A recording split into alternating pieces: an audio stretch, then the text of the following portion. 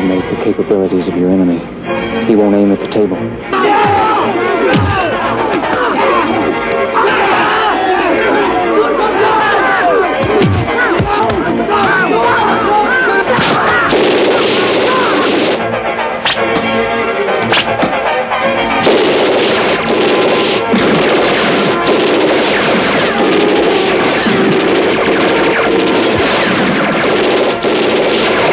Kid's father trains communist terrorists.